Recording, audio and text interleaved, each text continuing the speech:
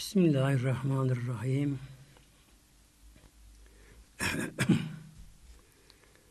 Bu akşam mübarek kandil gecesi.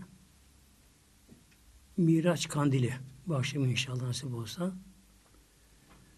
İnşallah İslam alemine hayırlı mübarek olsun. Mübarek geceler tabi sönü geçiyor. Ne hikmetse. Yani dünya dalmışız, gafletteyiz. Bunlar hakkında bile olamıyoruz. Bu Miraç kandilinin çok özel bir yeri var İslam'da. Peygamberimizin bir mucizesidir bu Miraç kandili. Miracın da iki yönü var. Birine İsra deniyor. Bu Kur'an-ı Kerim ile sabittir. Peygamber Aleyhisselam Hazretleri'nin Mekke'den Kudüs'e gitmesi. İkincisi Peygamberimizin Kudüs'ten yani Meşri Aksa'dan göklere çıkması. Buna Miraç deniyor. Bu Miraç bölümü Kur'an-ı Kerim'de Necim suresinde bil işare yani bir ibara değil de işaret ile bildiriliyor. Ayrıca sahabelerin de sözleriyle yine bildiriliyor. Önce inşallah tabi Mirac'ın İsra bölümü. Mevlamız buyuruyor Kur'an-ı Kerim'de İsra suresinin ilk ayetinde.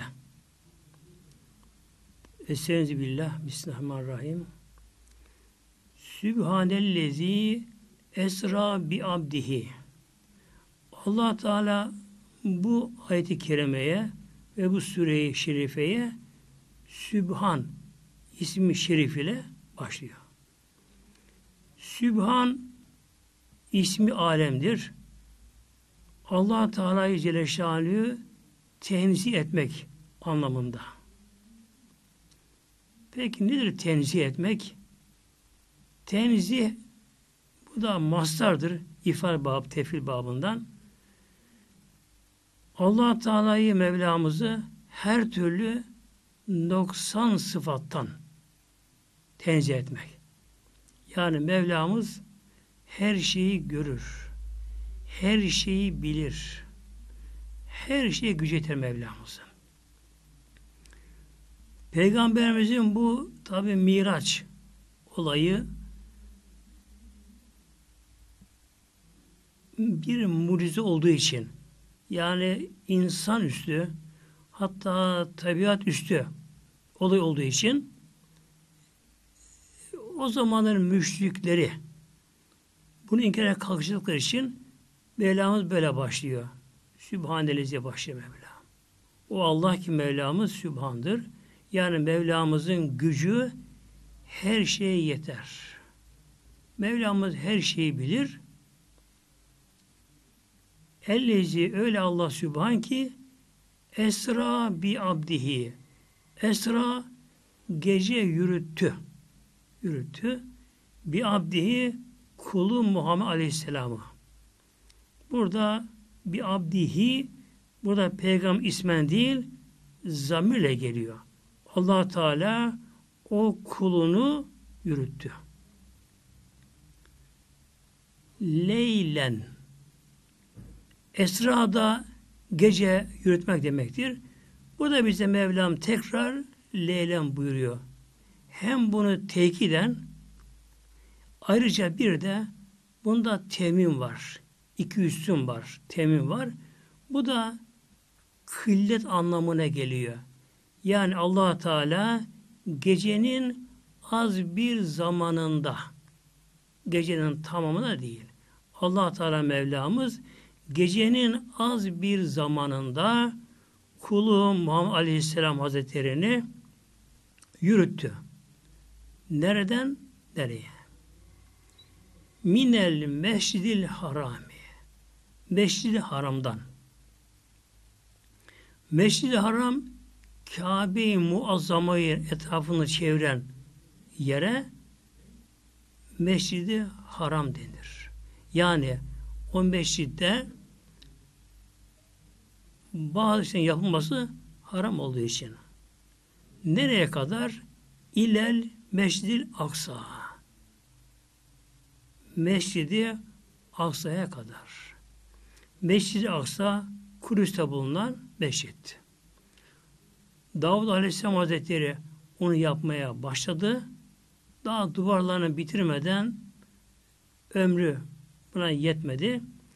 Oğlu Süleyman Aleyhisselam Hazretleri ikisi de peygamberdir. O bunu tamamladı. İşte allah Teala Peygamber Aleyhisselam Hazretleri'ni gecenin az bir zamanında Mekke'de Meşyaran'dan aldı. Kudüs'teki Meşr Aksa'ya yürüttü.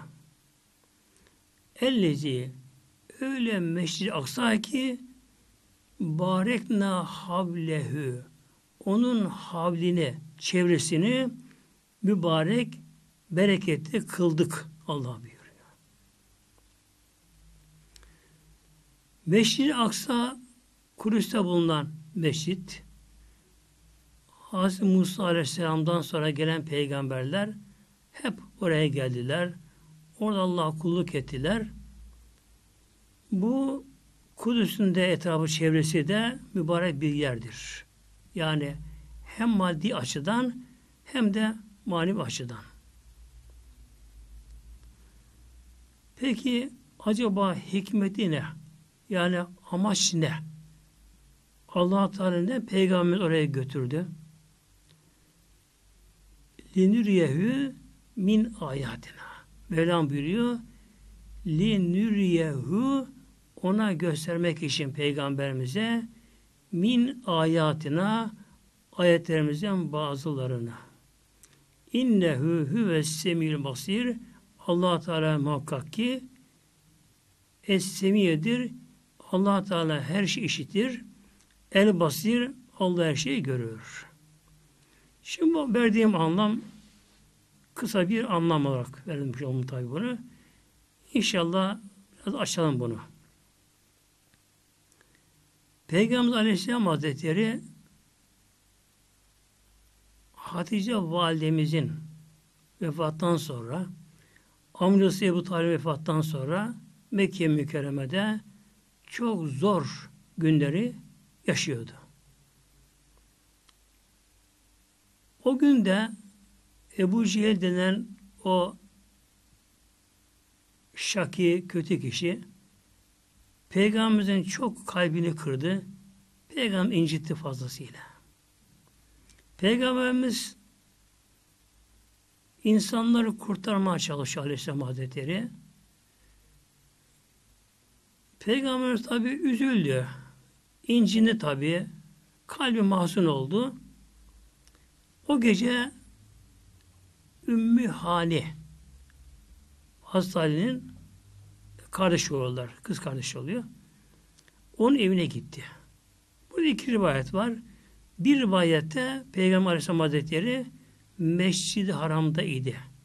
Yani altın olun bulunduğu hatim denen kısımdaydı Peygamberimiz.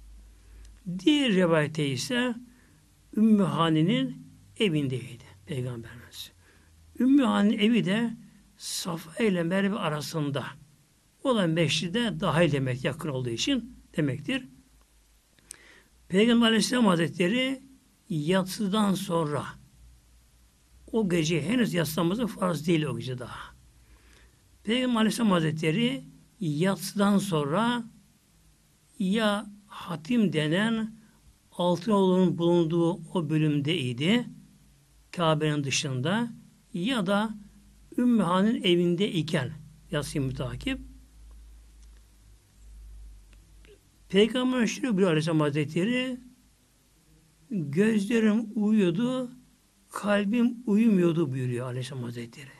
Yani Peygamberimiz öyle derin uykuda değildi. Ne uyu ne uyanık arasındaydı. Zaten peygamber öyle öyle peygamberler. Yani peygamberlerin uykusu hatta evliya uykusu bile öyle derin uyku olmaz. Onların kalbine açık olur. Nasıl açık oluyor kalpleri peki? Yani uyurken de bir peygamber, hatta büyük bir evlullah uyurken de yanına girenleri kalp gözüyle görür, onların konuştuğunu duyar. Öyle derin uykuya dalmaz onlar. İşte Peygamberimiz de o haldeyken Hazreti Cebrail Allah emriyle geldi. Buyurdu ki Ya Muhammed Ya Resulallah Allah Teala beni sana gönderdi. Mevlam senin davet ediyor bu gece Mevlamızın ayetlerini görmeye yerleri, göktür, arş görmeye Semer'in davet ediyor buyurdu. Hazreti Mikail de gelmiş onunla beraber gelmişlerdi. Hazreti Cebrail gelirken cennetten bir altın leğen getirmiş. İçinde iman hikmet dolu imiş. Peygamberimizin Aleyhisselam Hazretleri'nin göğsünü yardı Cebrail Aleyhisselam. Şöyle boğazdan uzunlama, derin uzunlamasına böyle karnına yardı böylece göğsünü. Bu tabi yarma deyince göğsünü bıçakla kesme değil bu. Öyle kan da akmadı, acımadı da. Ama göğüs yarıldı, açıldı ama. Kalp dışarı çıkarıldı. Peki nasıl oluyor bu olay acaba? Şimdi günümüzde de bazı ışınlarla mesela lazer ışınları ile de ağrısız, bıçaksız, kansız bazı operasyon yapılıyor kişilerde böylece. Ve bir lazer ışını bir ışınlar ki o lazer ışınlara böyle kısa mesafeden dağılmadığı için direkt aynı noktaya gidiyor onlar. Öyle yapıyor, yapıyorlar, yapıyorlar. E, böyle bir ışınlarla bu bir insanlar ağrısız, kansız, bıçaksız böyle bir işlem yapıyorlar da melekler nur. Melekler nur. Tabi meleklerin nuraniyeti nuraniyeti ışınlardan daha etkili, daha kuvvetli. İşte hem Cebrail'den büyük melek, ullazim melek bu Allah'ın emriyle peygamberin göğsünü yardı. Ama bıçak yok. Kan da akmıyor. Ağrı yok böyle şey. Nasıl yardı? Tabi bilemiyoruz tabi. Belki hücreleri ayrıldı. Kan da akmadı ama peygamberimizin kalbini dışarı çıkardı. Zemzem suyu ile peygamberimizin kalbi içini yıkadı. Sonra içine cennetten getirdiği leğendeki imanı hikmetiyle doldurdu. Doldurdu. Yine birleştirdi. Tabi iz bile kalmadı hiç. Peki bu nedir bu olay? Yani bir nevi cerrahi bir olay, ameliyat edildi Peygamberimiz. Neden buna gerek görüldü? Bu Miraç olayı baştan başa manevi tasavvufi bir olay. Ancak bu olayı Evlullah an idrak edebilir. Yani bu olay öyle bir olay böyle şey. Yani bir maddi değil böyle. Anlatılamaz da bunlar. Evliyaların da bir makamı vardır. Bir evliyullah bir makama geldiği zaman onlar da ameliyat yapılır. Evliyullah'ın da göğsü yarılır. Ama onlarınki rüyada olur, ruhani olur Evliyullah'ın da böyle. Mutlaka onlar bu ameliyatı geçirirler. Geçirirler. Şimdi kalpte, insan kalbinde karakan vardır. Süveyda kalp deniyor ona böyle. Bir nokta karakan vardır. İşte ürperen, büyük olay karşısında ürperen, korkan, titreyen, daralan, bunalan bu bir kalp vardır. kalpteki kan vardı böylece. İşte Allah Emre Cebrail Aleyhisselam Hazretleri o kanı temizledi. Çünkü Peygamber Aleyhisselam Hazretleri'ne ilk peygamberlik verildiği anda Nur Dağı'nda tabi o anda peygamberimizin kalbinde o ürperten kan, kara kan olduğu için peygamber Cebrail'e göre korkmuş peygamberimiz. Hatta peygamber titredi böyle peygamber. Hasan da Aleyhisselam Hazretleri böyle. Cebrail heybetinden. E Cebrail kim oluyor ki muhteremler? O göklere çıkan peygamber çıkacak. Neler neler görecek böylece. Neler görecek? Eğer peygamberimizin kalbindeki kan temizlenmeseydi oraya iman, hikmet doldurulmasaydı imanın gerekleri o sarsıntısız bir iman doldurulmasaydı e, Peygamberimiz tabi çok korkardı böyle. Korkardı, ürperirdi. Bu olayı yaşayamazdı bile. İşte Cebrail Aleyhisselam Hazretleri Peygamberimizin göğsünü yardı. Kalbin dışarı çıkardı. içini zemzem suyuyla yıkadı, temizledi. Ve cehennem getirdi. iman hikmet doldur içerisine yine kapadı. Peygamberimiz aldı ya Hazretleri Ümmühane evinde olan rivayete göre Meşrid-i Haram'a yani Kabe'ye getirdi. Peygamber Aleyhisselam Hazretleri zemzem kuyusundan su çekip abdest aldı Peygamberimiz. Kabe'yi tavaf etti. Kabe'yi tavaf etti. Sonra cennetten getirilen Burak ona bindirildi. Nedir Burak muhteremler? Allah Teala emir Cebrail Aleyhisselam'a da inerken yeryüzüne.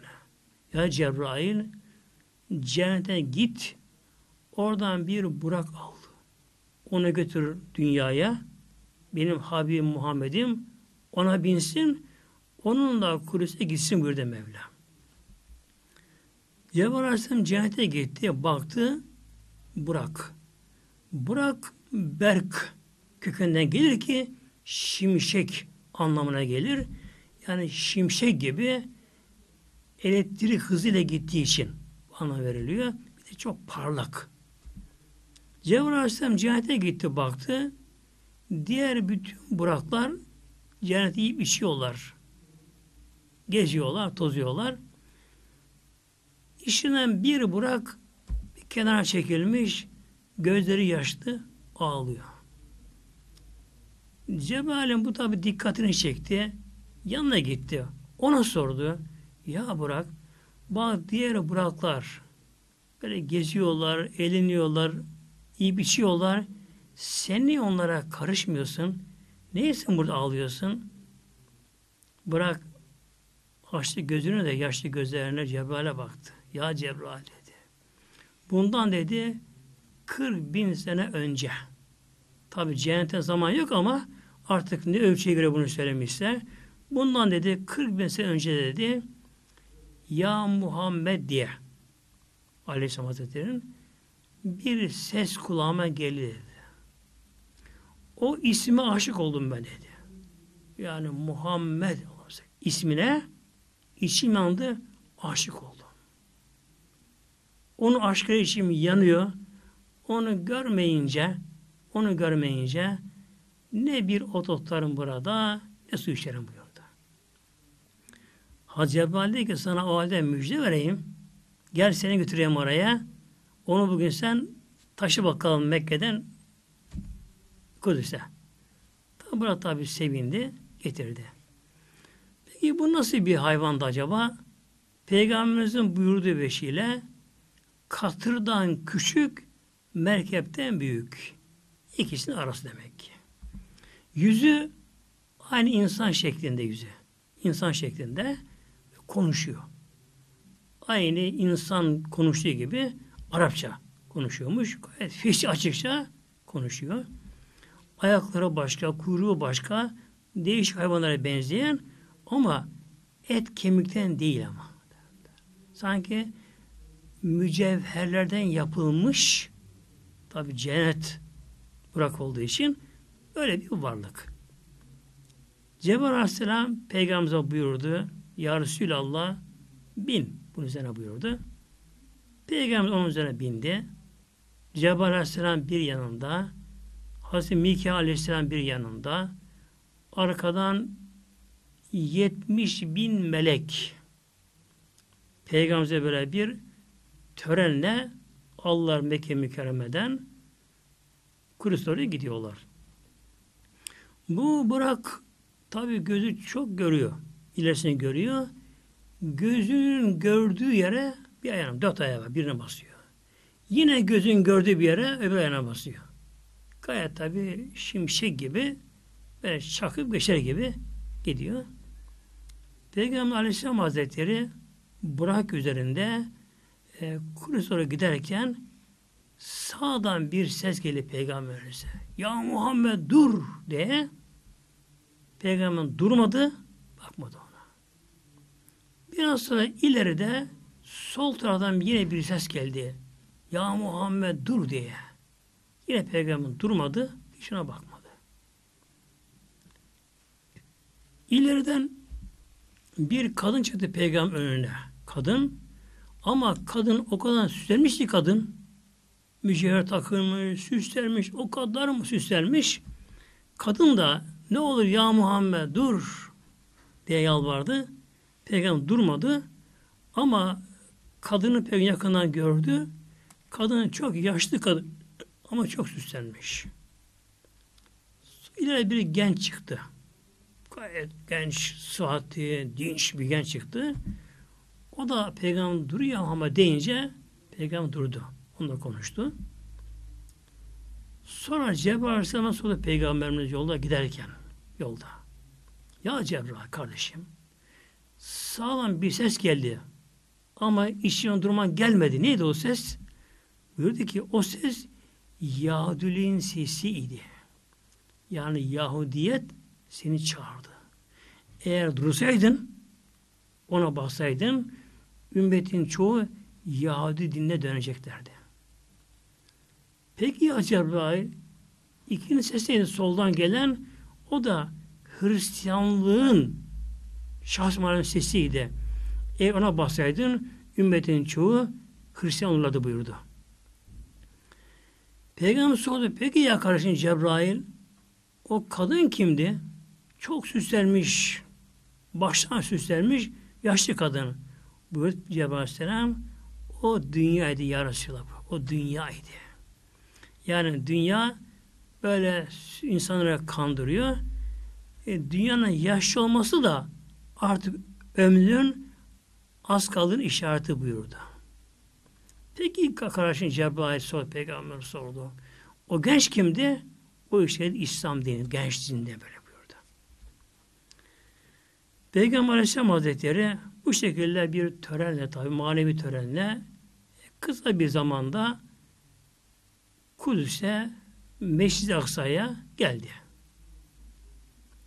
Tabi yolda çok olay oldu daha. Peygamberimiz indi namaz kılı bazı yerden falan olay oldu tabi. Tabi Miraç bölümü ancak bazı öz noktalar buna vermek gerekiyor. Peygamber Aleyhisselam Hazretleri Kudüs'te Mescid-i Aksa'ya gelince Cebrail Aleyhisselam Burak'ta indir peygamberimize. Cebrail Aleyhisselam Burak'ı aldı. Orada bir sahra derler. Yani büyük bir kaya. Kayalık taş. Orada bir halka vardı.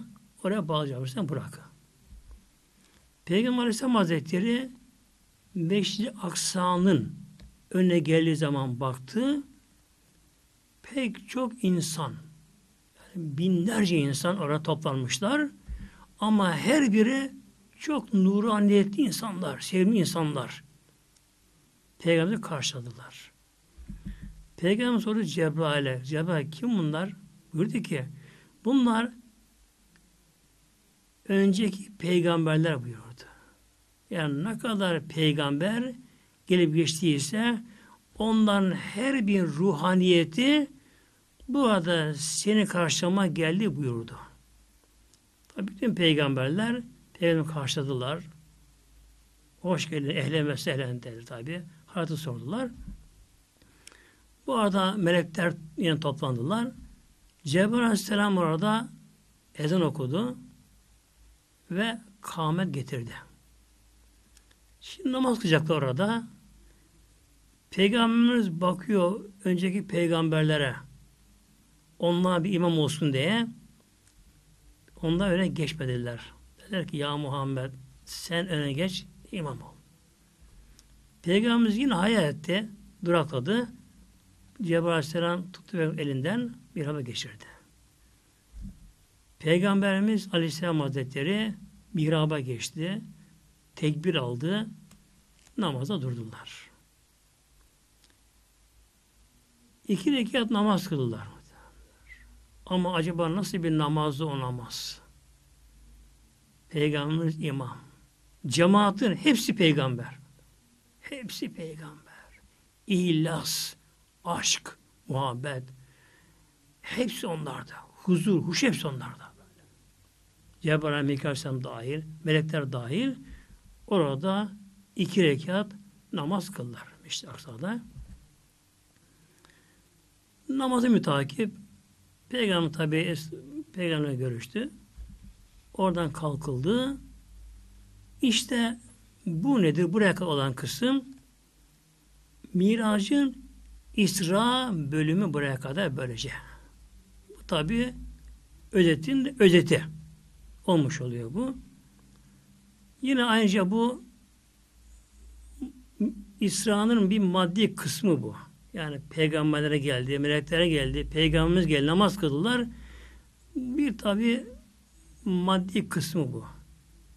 Bir de tabi yaşanan manevi haller, ruhsal haller, onu da biz tabi bilemeyiz onları. Cebrail Aleyhisselam peygamberini tuttu. Sahra.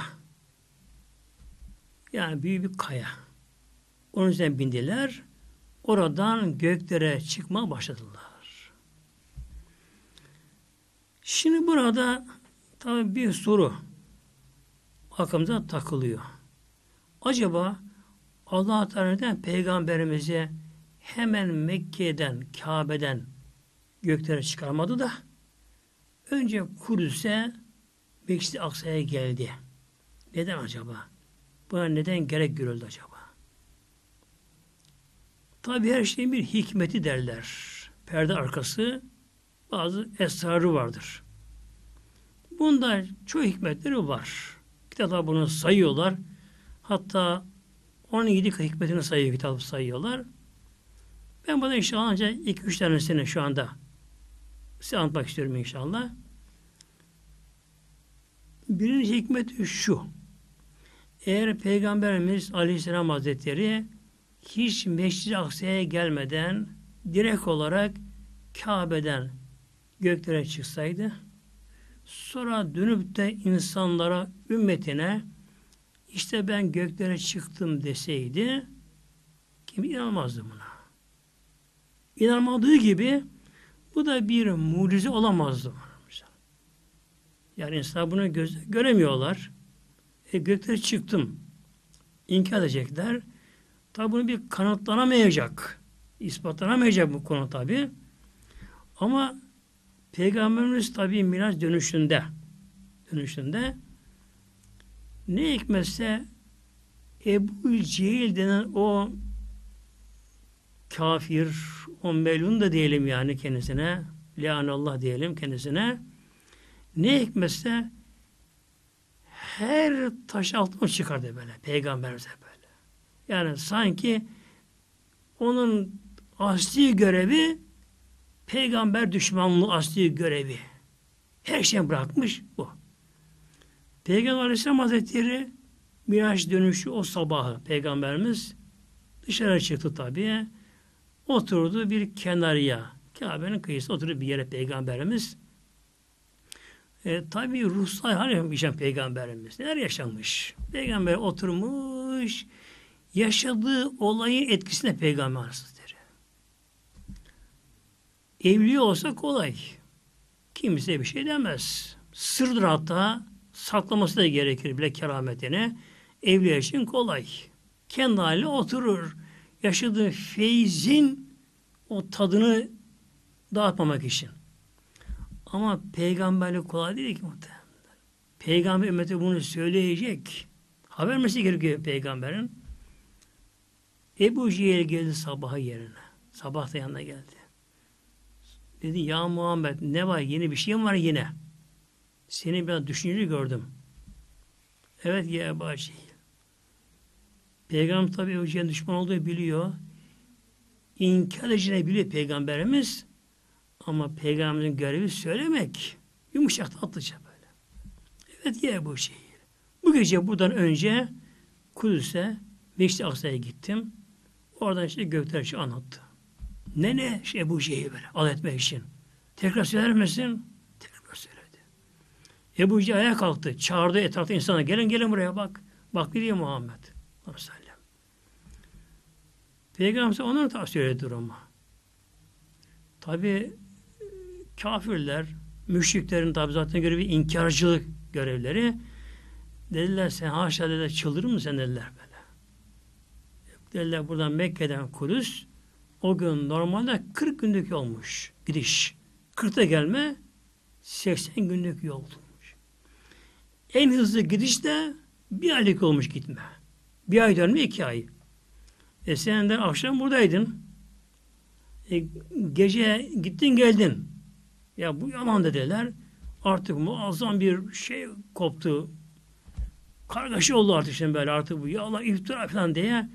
Hatta yeni imana gelen bazı zayıf müminler bile bu kargaşa gürültü içerisinde, inkarcılık içerisinde imanlarına bir zarar bile geliyor onların bile. Hemen koştular. Hazreti Bekir'e gittiler. Hazreti Bekir'e. Yani o da buna inanılmaz diye. Amaçları eğer Hazreti Bekir de inanılmazsa o da peygamberimizi terk ederse onlar İslam sönecek. Yani sevindiler. Sanki bir koz verilmiş gibi ellerine. Koştular Hazreti Bekir'e. Ya Ebu Bekir bak senin sahibi ne diyor? Peygamber ne diyor senin inandığın peygamberdir Hazreti Muhammed? Ne diyor? İşte bu gece efendim Meşri Asya'ya gitmiş de Gökture'ye gitmiş. İnanır mısın sen buna? Hazreti Bekir dedi ki eğer o söylüyorsa hak doğrudur böyle dedi. O söylüyorsa. Geldi. Tabi peygamber ona söyledi. Ya Ebu Bekir işte bu gece ben Meşri Asya'ya gittim. Gökture'ye gittim. Hazreti Bekir ya Resulallah Allah'a emanet hak peygambersin sen gitmişsindir. Peygamber buyurdu ki ya Ebu Bekir sen de sıddıksın buyurdu. Şimdi dediler ki bu sefer müşrikler içimizde dediler Kudüs'e gidenler var. Ondan tabi işleri ticaretti. Şam'a, İran'a, Kudüs'e giderlerdi. İçimizde dediler Kudüs'e gidenler var. Meşri Aksa'yı güzel bilenler var dediler. Onları çağırın bakalım. Onlarla soslu Meşri Aksa'yı bir tarif et bakalım. Peygamberimizin oraya gitmediğini biliyorlar. Tarlanı büyüdü. Orada doğdu doğdu biliyorlar. Dediler ki Muhammed dediler Aleyhisselam Hazretleri Mekke'ye gitmedi. Ama gidenler var içimizde. Ebu Bekir o da gitmiş, o da biliyormuş. Bunun üzerinde de soralım bakalım dediler. Peygamberimiz Aleyhisselam Hazretleri tabi gece Meşri Aksa'ya gitti ama manevi feyizden, ruhsal zevkten böyle o tevhidten, Allah aşkından Peygamberimiz tabi Meşri Aksa'ya bakmadı ki direklerine, kapılarına, pencerelerine. Manevi hale girdi. Ama allah Teala aradan perdeyi açtı. Sanki Meşrid-i Aksa hemen peygamber karşısına getirildi. Sorma başladılar. Peki girişi nasıl Meşrid-i Aksa'nın? Peygamber'e söyledi. Şu kadar basamak merdiveni var. Böyle böyle oraya giriliyor. Peki kapısı giriş kapısı nasıl? Tarif etti. Kaç kapısı var? Peygamber bakıyor tabi. Tarif etti. E, pencerelerini aynen tarif etti. Direklerini hepsini tarif etti. Hazreti Bekir bak dedi gördünüz bak dedi. Hazreti Muhammed Mekke'de doğdu. Beraber doğduk. Beraber büyüdük ve yaşadık. Bu Kudüs hiç gitmedi. Biliyorsunuz bunu. Nasıl söyledi? Doğru mu söyledi? Fakat yine tabi bana gelmediler tabi onlar. Şimdi işte Allah Teala peygamberimize Meşri Aksa'ya götürdü ki yani yaşandığı olayı onlara kanıtlanabilsin. İkincisi mahşer yeri bir rivayete göre Kudüs'te kurulacak. Tabii Kudüs büyüyecek. Çok dünya muazzam büyüyecek. Çok ama çok dünya büyüyecek. Ve bir rivayette mahşer yeri Kudüs'te kurulacak. Bunun için Mevlamız peygamberlere götürdü ki mahşer günü onu bilmesi için. Üçüncü hikmeti de bir de bunu yeter inşallah. Peygamberimizin Miraç çıktığı taş kaya. Şu orada meşrit vardır. İşte göklere çıkan her şey oradan çıkıyor. Yani melekler olsun, ölen kişinin ruhu olsun, yerden göklere ne çıkıyorsa, hatta insanların amelleri olsun, oradan çıkıyor. Yine gökten yere inen ne varsa, melekler, başka ne iniyorsa gökten yere, onlar orada iniyorlar böylece. Yani her yerden göğe çıkım inilmiyor böylece. Rabbim orada bir kapı yapmış. Onun için Allah Teala peygamberimizi Meşri Aksa'ya götürdü. Peygamber Aleyhisselam Hazretleri Meşri Aksa'dan sonra Miraç bölümüne başladı. Miraç ismi alet, aracı, uruç yani çıkıştan böylece Miraç ismi alettir ki yani bir nevi merdiven anlamına geliyor. Hatta hadis rivayete de Meşri Aksa'daki o sahranın üzerinden göğe çıkan bir merdiven varmış orada. Manevi merdiven. Tabi artık onu Allah Teala bilir. Gözleri kamaştıran bir merdiven. Peygamber Aleyhisselam Hazretleri ayağına bastığı anda bunu çıkardı. Yani yürüyen merdiven gibi manevi bir şey tabi. Çıkardı, Peygamber çıkardı. Peygamber Aleyhisselam yanında, yanında Cebrail ile beraber birinci semaya, birinci gökyüzüne geldiler. Her gökyüzünün bir kapısı orada girilemez böylece. Şey. Ancak o kapıdan girilir. Başta girilmez. Kapalıdır. Kapıda da bir bevvap denir. Kapıcı vardır. O gökyüzü o sorumludur. Cebrail Aleyhisselam kapıya geldi. Kapıcıdan izin istedi. Melek tabi. Sordu sen kimsin? Ben Cebrail'im. Yanındaki kim? Hazreti Aleyhisselam Hazretleri. Peki ona da gel diye izin verildi mi? Göğe verildi. Tabi açtı. Peygamber karşıladı. Cebrail karşıladı. Şimdi Peygamber Aleyhisselam Hazretleri birinci gökyüzüne girdi. Girdi oraya. Tabi Mevlam Peygamber nedir davet etti miraca? Allah ayetlerinin bazısını görmesi için dünyada ne olacaksa ne oluyorsa göreli melekler birinci gökte işte muhteremler. Yani yağmur nasıl yağacak? Nasıl ki karagahlar olur böyle. Mesela bugünkü bilgisayarların toplandığı yönetilen bir yer olur. Yöneten bir yer olursa işte birinci gökyüzündeki meleklerin hepsinin tabi değil. Dünya ile göre melekler onlar hepsi birinci gökyüzünde böyle işte. Bulutlara bakan, yağmura bakan, ısıya bakan, depreme bakan, e, rızık sebebine bakan yani dünyada kaç tane karınca var? Her karınca rızkı ne olacak? Uçan kuşların türleri, e, hepsinin adedin sayısı deredeki, göldeki, denizdeki bütün balıkların sayılı rızıkları hep oradan idare ediliyor. ediliyor. Peygamber hepsi orada gezdi.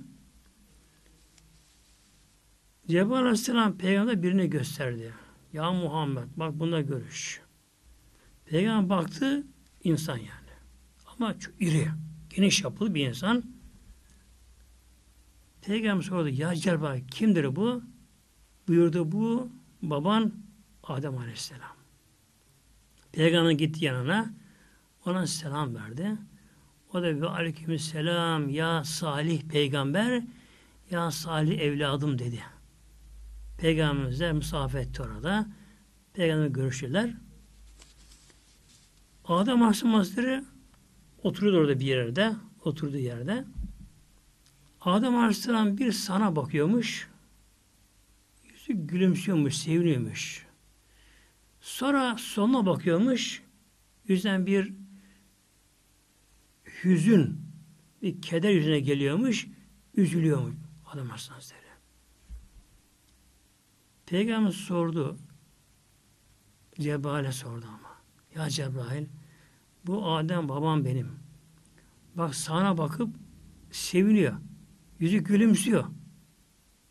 Neden? Buyurdu ki sana bakıyor. Ne kadar zürriyetinden salihler yani gerçek müminler müttaki müminler varsa onlar ruhlarını görüyor. Gerek gelip geçmiş, gerek gelecek. Onları görüyor, seviniyor tabi. Sona bakınca da ne kadar kötü ruhlar varsa, yani gelip geçmiş, o anda hayatta veya gelecek. Ne kadar kötü zürriyeti varsa, kafirler, müşrikler, fasıklar, zalimler onları görüyor. Tabi onları kapkara, çirkin, pis kokulu görüyor. Onu üzülüyor buyurdu.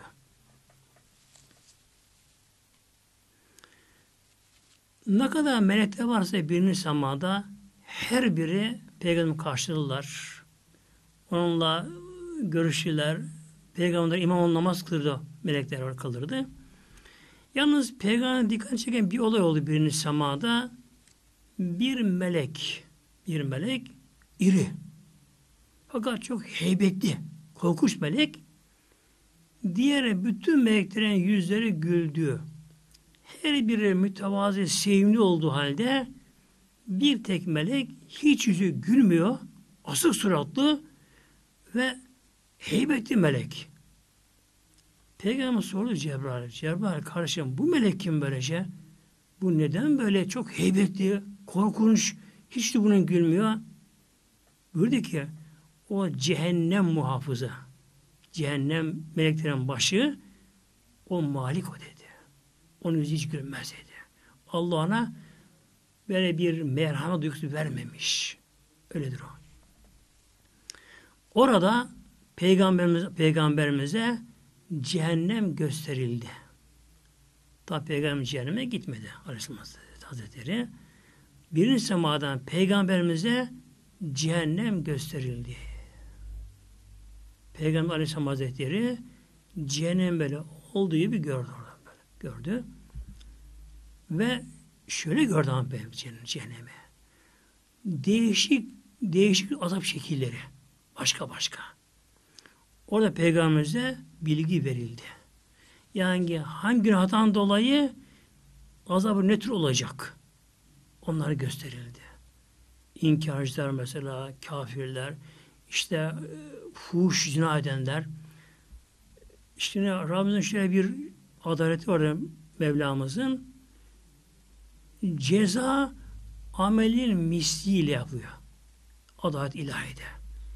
Kişi nasıl bir suç dünyada işlemişse, günah işlemişse cezası aynı oranda ona eşit bir misil oluyor. Mesela Allah korusun Müslüman kadınlarımızı bir kadın zina fuş ederse onun azabı ateşte kızdırılmış ama cehennem ateşine kızdırılmış bir şişte rebine sokularak böyle. Öyle böyle. Kalın ateşe kızdırılan kıpkırmızı böyle. Şiş, o şiş muazzam demir yanmış yan ateşte Geliyor melekler onun kadının edebini sokuyorlar bu şekilde. Tabi cız diye yanıyor, tüy, derisi dökülüyor, şeylere dökülüyor. Bunun gibi sonra peygamber gösteriyor tabi böylece bunlar. Sonra dünyada çok saz, caz yani böyle fazla müziğe kim düşkünse onun azabı da Allah korusun onun kulaklarına erimiş bakır dökülecek orada böyle.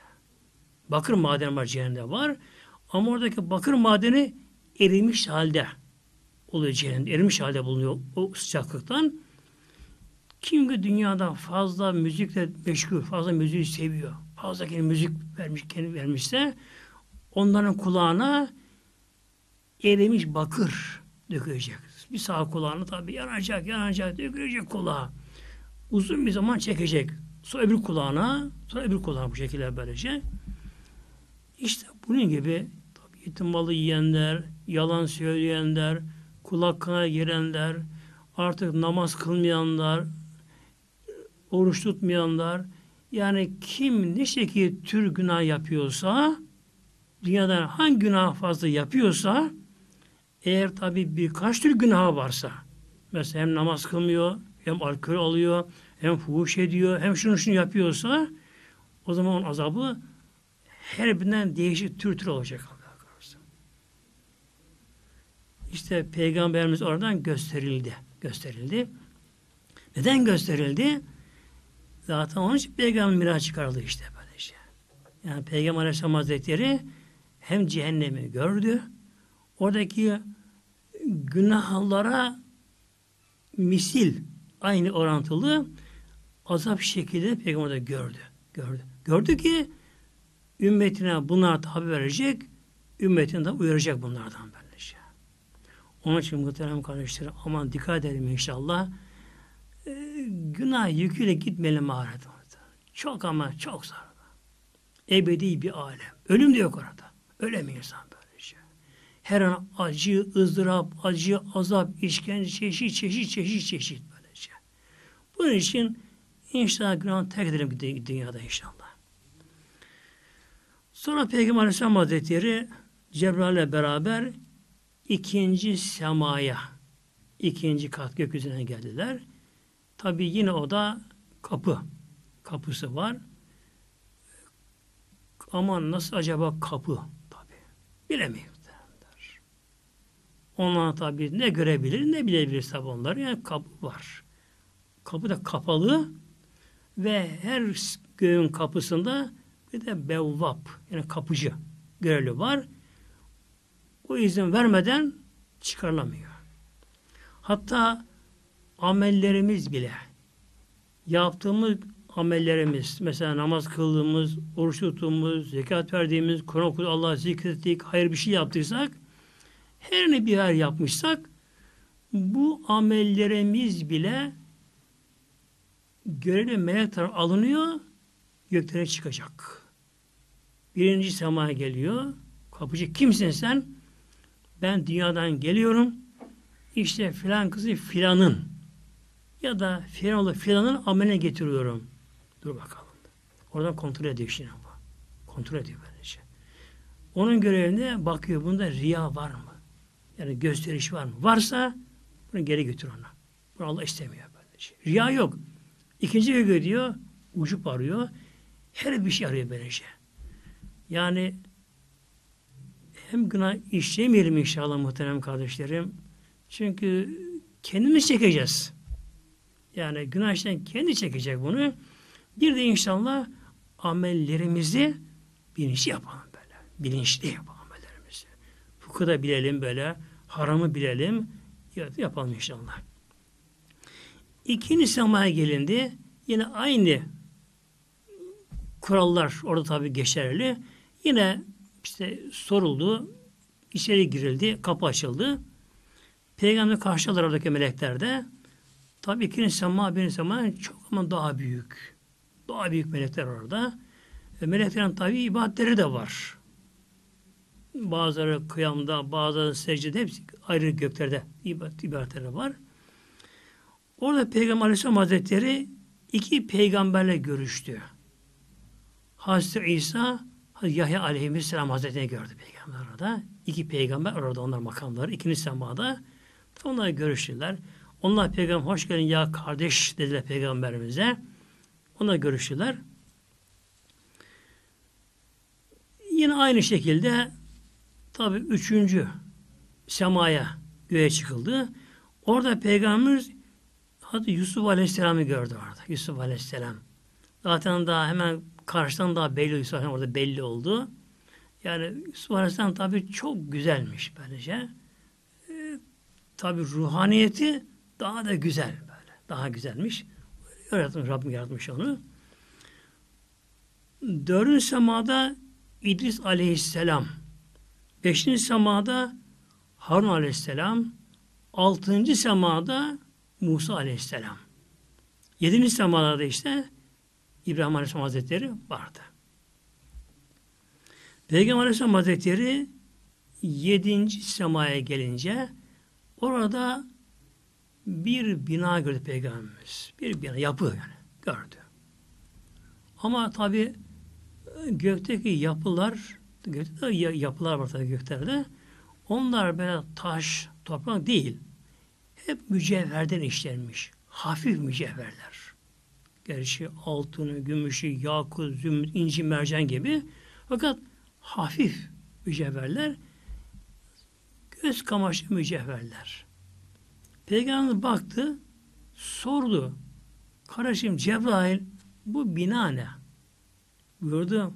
Ya Muhammed bu Beytül Mamur dedi. Beytül Mamur. Kabe yokken yeryüzünde o varmış. Sonra o göğe kaldırılmış. Göğe kaldırılmış. Yedinci göğe kaldırılmış. Peygamber baktı ki Beytül Mamur'un duvarına bir böyle yaslanmış oturuyor birisi. Çok mübarek, nuru bir kişi. İnsan yani. Peygamber soruyor. Bu kim ya Cebrail?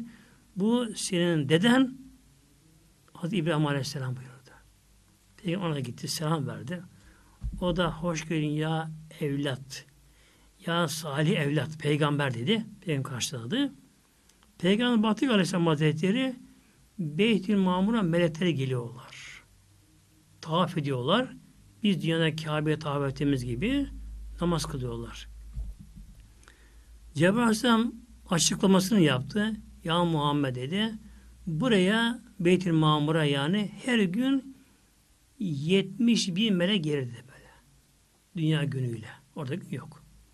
Buraya her gün dünya günüyle 70 bin melek gelir. Tavaf ederler. Tam meleklerin tavafı tabi yavaş tavaf ederler. Namaz kılarlar. Bunu cihat ederler. ibadet yaparlar. Bunlar giderler. Başkası gelir. Ama melekler ancak bir defa bu nasip oluyor. Böylece. Onlara tekrar sıra gelmiyor buyurdu. O kadar çok melekler var. Buraya kadar tabi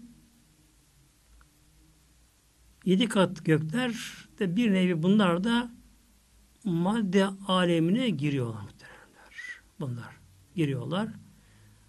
Ne kadar yıldızlar varsa galaksiler varsa hep bunlar göklerde. Kim Mevlam buyuruyor Mülk suresinde dünya semasını da süslük derken buyuruyor. Tabi yine Mevlam buyuruyor ve semayadati buruç gibi. Yani burçların bulunduğu sema diye Mevlam buyuruyor. Demek ki hepsi dünya semasından değil bunların. Değil bunlar. Tabi daha ileride, ile ileride. Bu kadar galaksiler var.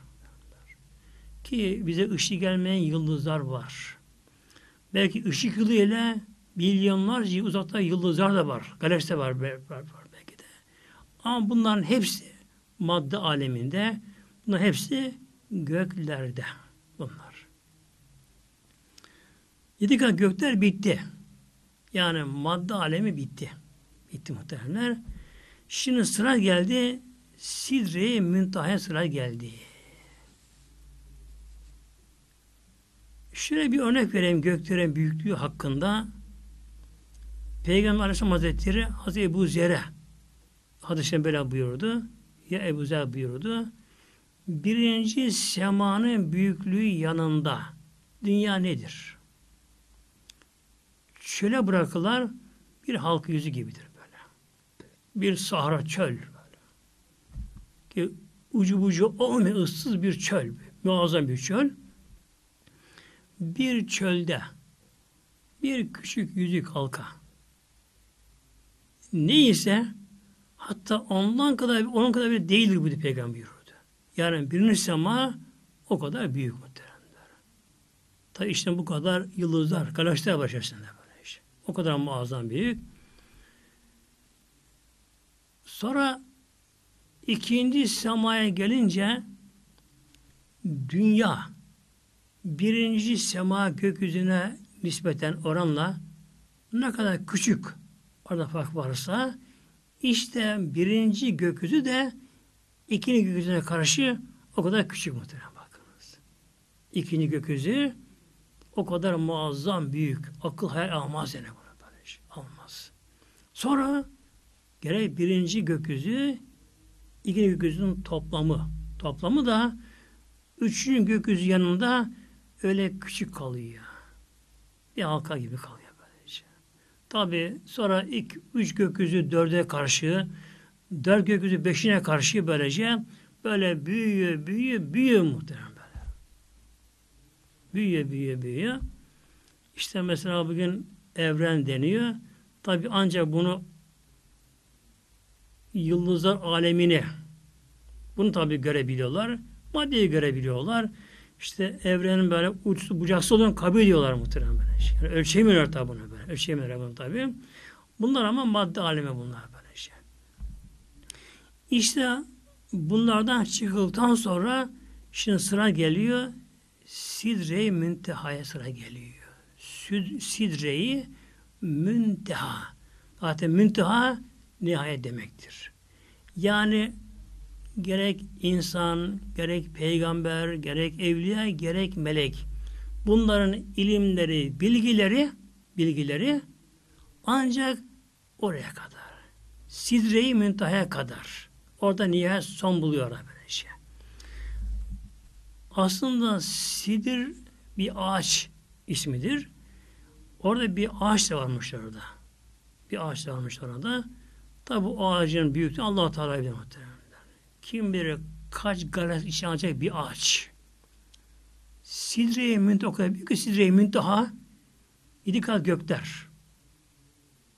Yani birinci gök bu da büyük demiştik ben. İkinci ondan o kadar büyük. Yedi kat gökler. Sidre-i Müntaha yanında küçük bir yüzü gibi kalmıyor muhtemelen. Sidre-i Müntaha bunu tamamen kuşatmış bütün gökleri. O kadar büyük, o kadar büyük böyle şey. Yani artık hayal gücünü aşan, akıl bunu kavrayamadığı gibi, hiçbir rakamlara sığmadığı gibi hayal gücünü aşan büyüklükte sidre müntaha. Tam ortasında bir ağaç. Ağacın da ortasında Hazreti Cebrail makamı orada muhtemelenler. Orada Cebrail Aleyhisselam peygamberimizi oraya kadar götürdü. Götürdü. Tabi Peygamber Aleyhisselam Hazretleri ruh bedenle gidiyor. Ruh bedenle gidiyor. Peki beden ağır. Nasıl çıktı oralara? Nasıl oraya çıktı? İşte Peygamberimizin bedeni ruha tabi oldu. Ruha tabi oldu. Ruh süratiyle. Eğer Peygamber Aleyhisselam Hazretleri bırakalım beden süratini bugün en hızlı sürat ışık hızıdır madde aleminde. Eğer Peygamber Aleyhisselam Hazretleri ışık hızı süratiyle girseydi o makamlara milyonlar sene yetmezdi. Işık hızıyla. Ama ruh sürati melek sürati. Melek de aynı şekilde süratidir. Sidri Müntaha'ya gelindi. Orada peygamber oradaki sırlar peygambere gösterildi ve peygamber gösterildi. Zaten amaç bu. Yani peygamberimiz Allah ayetini görmesi, bazısını görmesi, kainatın dengesini, düzenini, çalışma sistemlerini, meleklerini, bütün esrarı, sırları gösterilmesi Hikmet bu tabi. Cebrail Aleyhisselam kaldı şimdi orada. Peygamberimiz tabi daha gidecek, ileri gidecek şimdi. İlerisi artık bilmiyor. Bilmiyor artık. İlahi sır. İlerisi. Gerçi yerde melekler var. O melekler aşağı inemiyorlar. Bundan yukarı çıkamıyorlar muhtemelen böylece.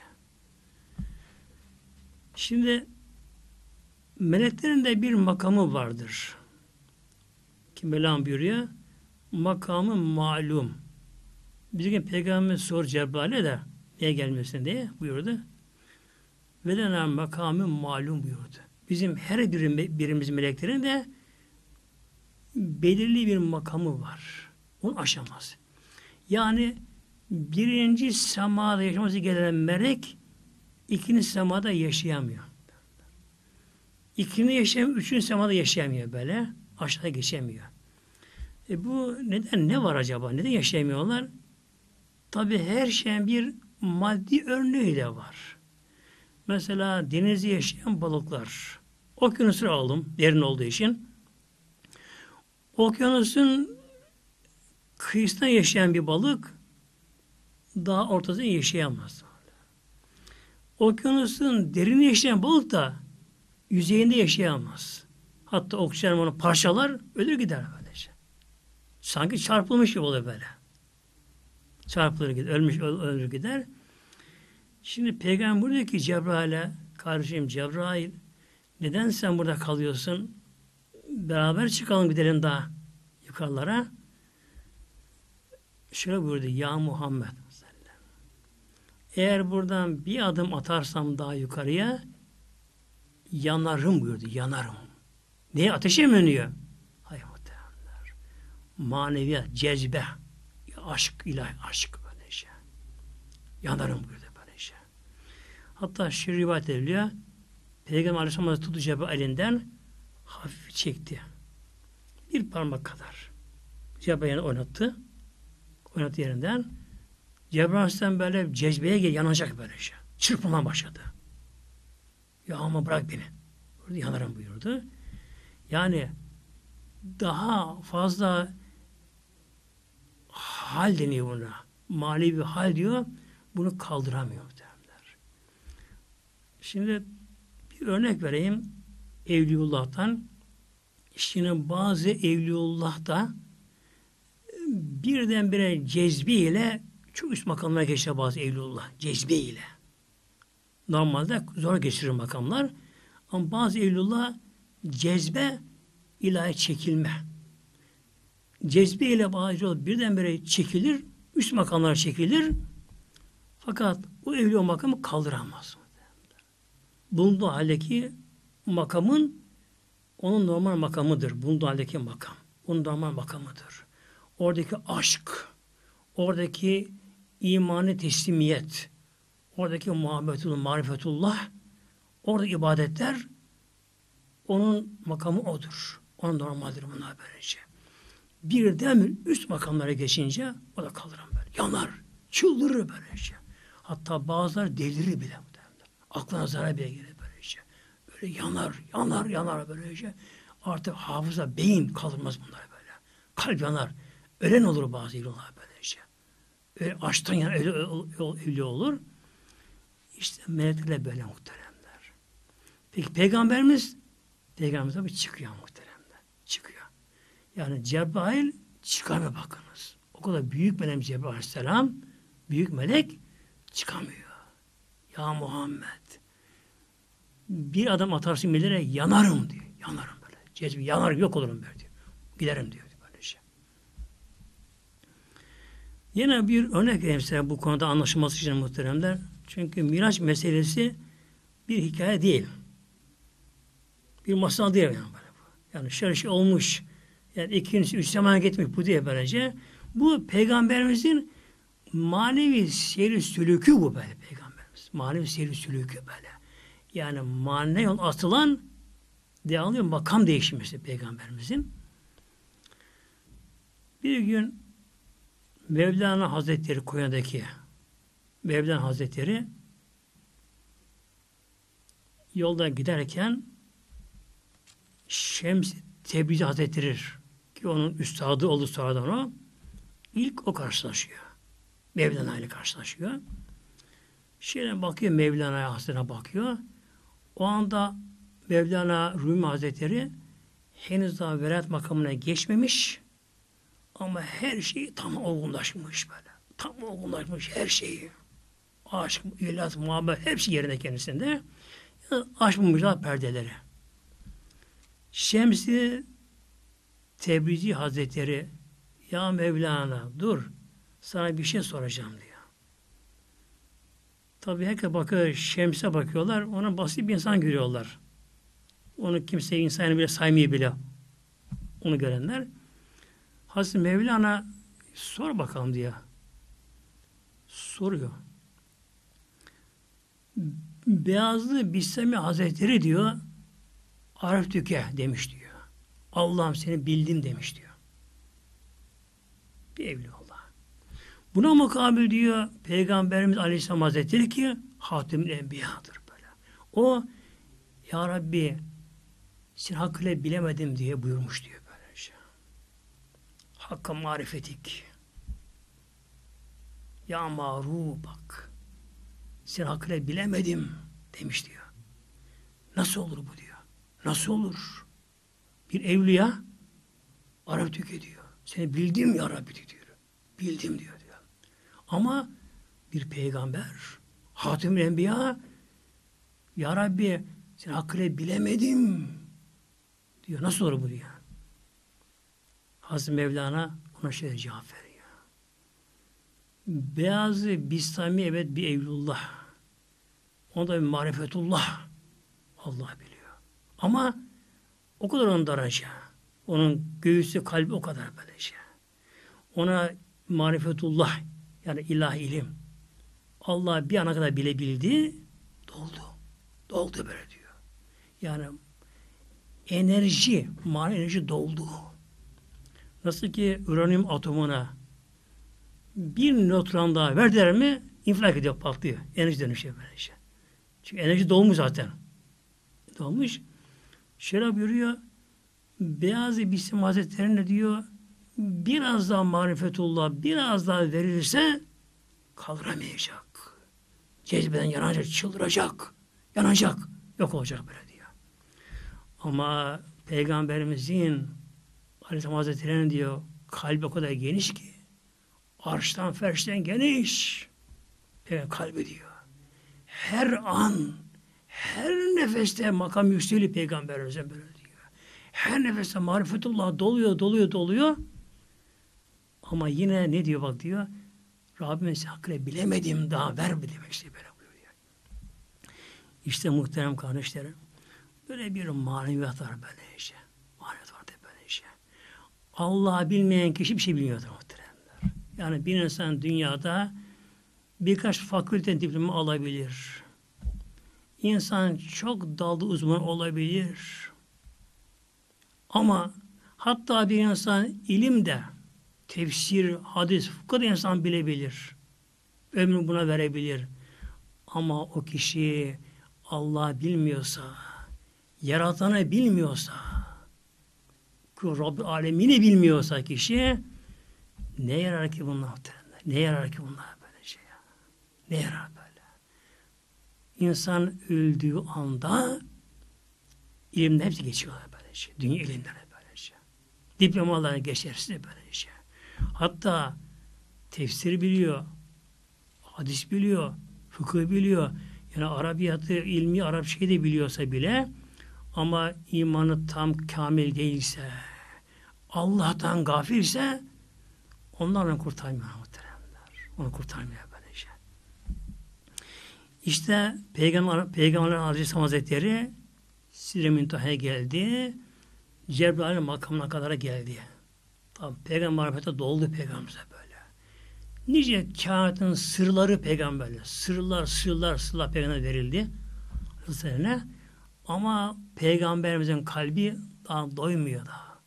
Aşkullah'a doyamıyor, kanamıyor daha böyle. Tatmin olamıyor peygamber kalbi daha. İstiyor daha. Cebrail Aleyhisselam tabi kaldı orada. Yanarım dedi ve yandı böylece. Az peygamber çekince kendisini. Dayanamadı, cezbeye geldi. Yanacak. Bıraktı. Oradan peygamber refref verildi. Verildi. Peygamber refrefle çıkmaya başladı daha. Hep ama perdeler böyle. Yani manevi perdeler böyle şey. Bir halden bir hale. Bir halden bir hale. Tabi anlaşması biraz zor muhteremler. Yine bir örnek vereyim. Aklına daha anlayabilmeniz inşallah. Şimdi bir kişi, insan, gayrimüslim, Müslüman değil. Allah nasip eder de araştırdı. Neyse şu oldu, bir sebep oldu. Rüyasına olur, akıl sebep oldu. İslam'a geldi. Müslüman oldu. İnandı ama. Tam inandı, Müslüman oldu. Bu kişi tam inancı ile Müslüman olduğu anda öyle bir hal alır ki kişi o anda yani perdeler kalkar. Hangi perdeler? Görünmeyen gaflet perdeleri, gaflet perdeleri böyle. Gaflet. Ona ağırlık veren, onu sıkan, onu Allah'tan koparan, ayıran böyle şey. Günahlardan iten, kalbini daraltan, ona bunalım veren perdeler vardır böyle şey. Ya da bir Müslüman, Müslüman ama İslam'ı tam yaşamıyor böyle şey. Her ne kadar namaz kılıyor, kılmıyor, örtünü örtünmüyor işte, oruçluğu tutmuyor. Yani İslam'ı tam bilinç yaşamıyor. Bir şey yapıyor, haram da işliyor böyle. Yapıyor, yıkıyor, yapıyor, yıkıyor böylece. Bir muallata bir Müslüman. Böyle bir Müslüman Allah'ın hidayetiyle bilinçli olarak güzel bir tevbe etse, Allah'a bir yönelse, günahdan kopsa, Allah tam yönelse, böyle tevbe Allah'a yöneldiği anda ondan çok bedere kalkar böyle. Yani en azından nefsi emmarenin zulümat perdeleri kalkar ondan. Kişiyi gerçek tevbe ettiği anda Allah inanıp tam Allah'a yöneldiği anda o kişi kendinden gerçekten perdelerin kalktığının farkına varır. Bir gönlünde bir rahatlığı, bir huzur, tatlı bir hal, o ağırlık kendisinden gider, bir uyanma kendisine. Yani Allah'a bir yaklaşma perde kalktıkça olur. İşte perde bu anlama geliyor muhteremler. Tabi Peygamber Aleyhisselam Hazretlerinden de perde yok mu? Allah kendisini gizliyor işte muhteremler. Böyle perdelerle. İşte Peygamber Aleyhisselam Hazretleri Sidre Münteha'dan sonra o gayip alemi artık. Bilinmeyen alemler, uçsuz bucaksız alemler. Orada ne ay var, ne güneş var, ne yıldız var orada böyle şey. Ne madde var o alemde. Uçsuz bucaksız bir alemler ama manevi alemleri böyle. Feyiz, ruhsal feyiz alemleri. Peygamberle perde açılıyor. Peygamberle halden hale böyle. Halden hale giriyor seyri sürü tamamlanacak. Ki Mevlam buyuruyor Necim suresinde yani bu ayet-i kerimeler müteşabihattan muhteremler. Yani müfessirlerin başını ağırtan böyle. Evliyullah'a böyle zorluyor anlamında. Mevlam buyuruyor Estağfirullah. Sümme dena fetedella. Artık perdeler aşıldı muhterem. 70 bin perde deniyor böyle şey böyle. Aşıldı. Sümme dena yaklaştı peygamberimiz. Fetedella sarktı. Bunlar sözlük anlamı. Müfessirlerin başını artan böyle anlam vermede. Zamirler, dena, huve o kim yaklaştı yani. Bunlar böylece. Biraz da Evlullah'a böyle yani muazzam zorlayan böyle anlamında şeyler ve tabi bunun çok böyle manevi anlamları var da tabi hepsini sayamayız tabi. Dena peygamber yaklaştı. Fetedella sarkma burada peygamber ruhu Cezbeye kapıldı böyle. İle huzurda böylece. Fekâne Kabe kavseyni ev edna. İşte bunlar bir makam. Kabe kavseyn. Kavs yay demedi şöyle. Tabi buradaki yay ilgisi yok tabi bunun böylece. Yani iki yay miktarı sanki. Ev edna daha da yakın bile böylece. Peygamberimiz öyle bir makamlara geldi. Hiçbir peygamberin hiçbir meleğe ulaşamadığı makamlara geldi. Yani haşa Allah orada değil tabi muhteremler. Değil. Dünyanın insanı kalkar kalkar perdeler. Fakat Peygamberimizin oraya gitmesine amaç neydi Peygamberimizin? Ayetleri görmek böyle. Kainatın düzenini görmek. Çalışmış sistemi görmek, kainatını görmek. Tabi bu arada Peygamber Aleyhisselam Hazretleri böyle hal hale gire gire Peygamber artık o noktaya geldi ki Peygamberimiz artık hiçbir beşeriyet kalmadı Peygamberimizde. Kalmadı. Ve ehl-i sünnet inancının en kuvvetli rivayetine göre orada Peygamberimiz allah Teala'yı gördü. Allah orada değil ama da. Allah mekamı zehtir. Ve Peygamberimiz oradan gördü. E buna şöyle bir örnek veriyor bazı evlullah. Mesela diyorlar bir kişi tarası çıkar da ben tarası ayı gördüm der diyorlar. İşte ben hayır tarardan gördüm. Yani Peygamberimiz oradan gördü böylece.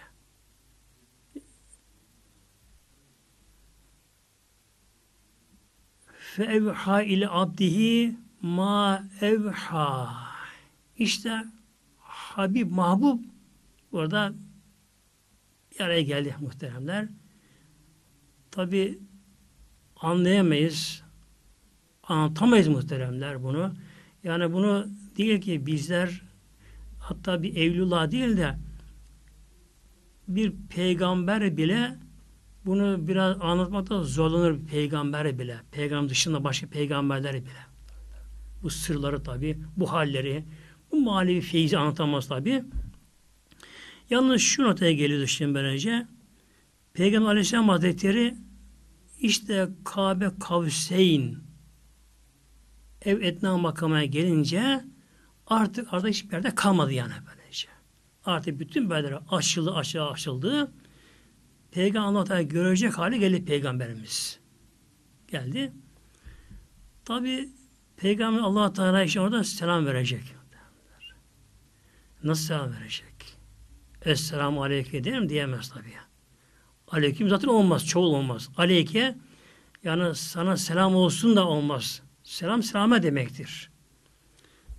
Peygamber Allah'tan şöyle selam verdi işte muhtemelenler. Bunlarımızı okuyoruz.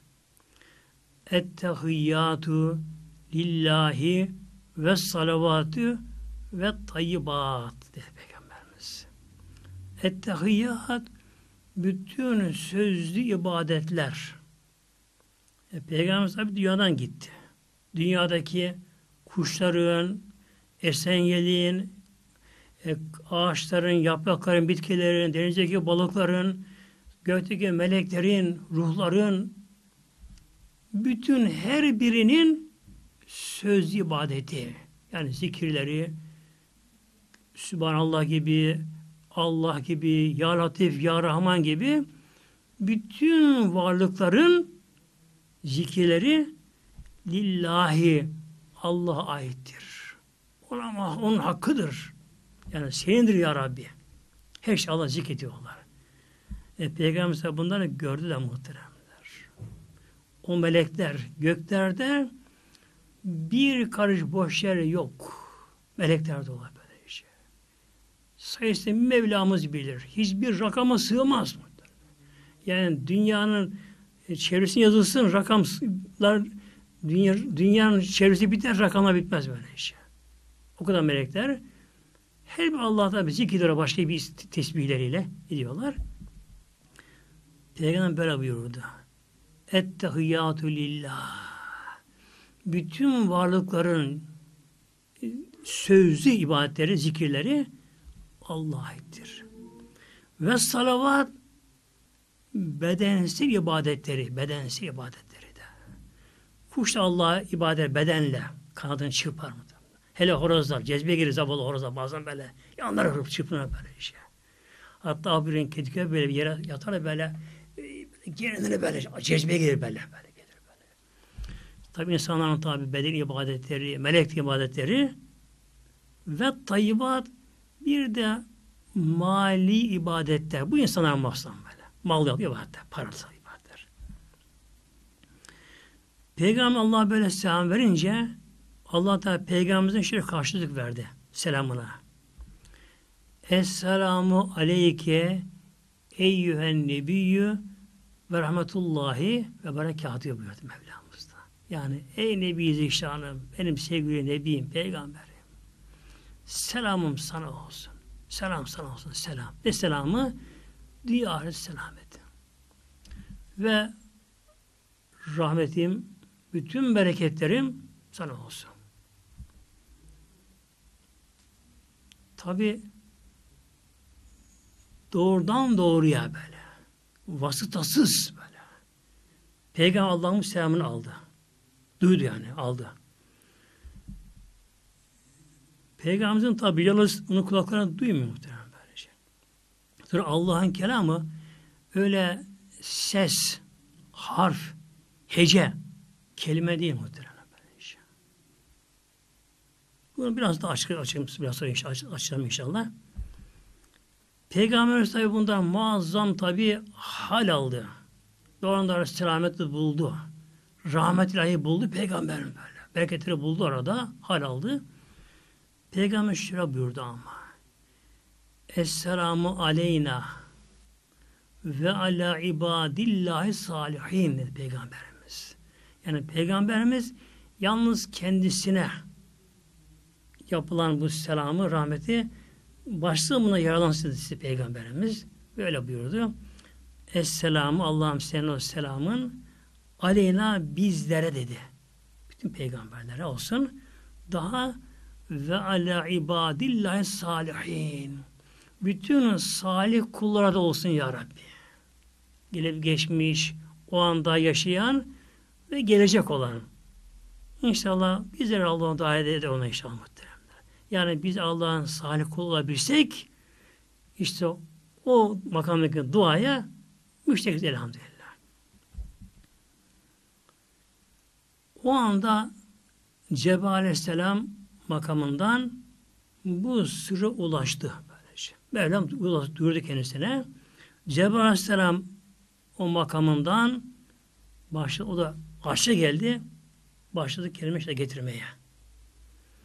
Cebrail ve diğer melekler de başladılar. Bütün melekler yani o anda inledi kainat.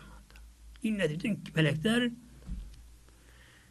Eşhedü en la ilahe illallah ve eşhedü enne Muhammeden abdühü ve resulü dediler orada. İşte Mevlamız Peygamberimiz orada bazı şeyler buyurdu. Ne buyurdu? Mevlam buyuruyor Necim suresinde Estağfirullah fevha ile abdihi ma evha Allah kulunun Muhammed'in orada vahyetti orada. Vasıtasız neyi? Ma bak bütün şey ma'da böyle. Binler belki milyonlarca kelimeler ama kelime yok muhtemelen böyle. Kelime yok böyle şey. Eğer harf, hece, kelime, cümle böyle paragraf olsa o anda allah Teala peygamberimize vahyettiği o sözlere belki yüz binler sene lazım. Ama vahiy, ilham, Allah'tan ki ilham, onlar doğruları gönüle verilir, bir anda verilir. Olduğu gibi böyle şey. Yani mesela büyük bir evlullah'a Büyük Evlullah'a bir kitapta ne varsa birden verilir böylece. Bir anda böylece. Verilir. İşte Peygamberimize Mevlam orada vahyetti böylece. Ne vahyetti? Kainatta ne olmuş, ne olacak? alemlerin yoktan yaratılışı, arşın yaratılışı, göklerin yaratılışı, dünyanın yaratılışı böylece. Bütün maddeler, meleklerin sırları, cennetin sırları, cehennemin sırları, atomun sırları, madde alemin bütün sırları, kimler kimden yaratılacak böylece. Ne olacaksa, ne olmuşsa Peygamber hepsi orada bildirildi böyle. Hepsi bildirildi. Ayrıca Peygamber Aleyhisselam orada Suriye Bakara'nın son iki ayeti kerimesi verildi. Yani Amen Resul dediğimiz verildi. E, bunun şu sırrı var bunda tabi muhteremler. Tabi bunu anlamıştı veremeyeceğim uzun olduğu için. Yalnız iki kelimesini şey yapacağım. Mevlam buyuruyor ki Amener Resulü. Amener Resulü. Amene iman etti. Er Resulü işte o Resulü. Hazreti Muhammed iman etti. Yani o anda peygamber imanı artık tamamlandı. Tamamlandı. İman o kadar olur böylece. Neden? Ya Allah iman mı? Allah'ı gördüm. Allah'ın sözünü konuştu. Allah'la konuştu muhteremler. Melekleri iman mı? Zaten melekleri haşır neştir. Melekleri geçti. E, cenneti, cehennem zaten hepsi onları gördü muhteremler. Haşir neşrin peygamberde hepsi gösterildi. Ne oldu? Bak Mevlam buyurdu. Amener Resulü bak. Er Resulü lam tarif ahd için. O nebi zişan. Peygamber Aleyhisselam Hazretleri artık imanı, imanı tamamlandı böylece. Dünyadaki imanı imanı yakındı. İman hakikiydi böylece. Yani hakka yakın imanı ama orada artık imanı şuhudi oldu böyle. İmanı şuhudi. Yani şehadet makamına erdi. Artık iman tamamlandı arkadaşlar. İşte bunun için bu Aman Resulü her akşam okunması sünnet yasam sonra muhtemelenler. İmanın tazeli böylece. Yine orada Mevlamız Peygamberimize ümmetine namazı verdi Peygamberimize. Ya Muhammed ümmetine Peygamberimiz dedi ki Ya Rabbi bana nasip ettin biraz buraya gelmemi. Ümmetim ne yapsa ona gelemez de buralara. Mevlam buyurdu. Onlara da namazı farz kılıyorum. Onlara da namazı miraç olacak. Namazı miraç olacak onların da. Mevlam önce peygamberimize günde 50 vakit namazı farz kıldı. Demek ki bu lazım insanlar aslında muhteremler. Bak 24 saatte 50 vakit. Aşağı yukarı yarım saatte bir namaz, yarım saatte bir namaz, yarım saatte bir namaz bu şekilde böylece. Efendim bu çekilir mi ama? Nedir ki dünya muhtemelen? Dünya kısa dünya böyle. Demek ki aslında bu gerek bizlere. Yani insanın olgunluğu bu gerek demek aslında. Peygamberimizin Musa Aleyhisselam görüşmüşler birlikte tabi. Bu defa ne oldu bunun üzerine? Mevlam bunu indirdi beşe. Mevlam bunu beşe indirdi. indirdi. Demek ki en son asgari sır beş vakit namaz böylece. Ancak insan, insan tutabilecek, imanı koruyabilecek muhteremler. Ruhu nefsi üstün tutabilecek, kişi Allah'a bağlayabilecek ancak günde beş vakit namazdır böylece. Beş vakit namazdır. İnşallah işte bu beş vakit namazımızı aman ve dörde indirmeli muhteremler. Hatta kazaya bırakmayalım bunu böylece. Bunu devam edelim inşallah Teala. İşte adı cemaatimiz. Daha miraç konusu tabi bitmez, tükenmez muhteremler. Kısa bir şey inşallah bu konuyu bağlayayım inşallah muhteremler. Peygamber Aleyhisselam Hazretleri arşın yanında bir derya gördü peygamber. Arşın yanında bir derya. Bir derya deniz. Ama nasıl bir deniz? Yerlere içine alan bir deniz böyle. Ucu bucu olmayan. Kim bilir kaç trilyon kilometreler. Tabii ben bu söylüyorum bu rakam söylüyorum böylece. Böyle bir deniz bir peygamberimiz gördü. Bir deniz gördü.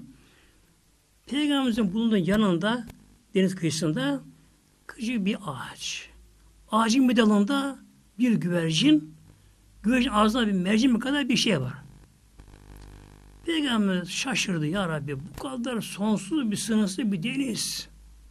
Böyle küçük bir ağaç, bitki, dalında bir güvercin, ağzından mercimek kadar bir şey.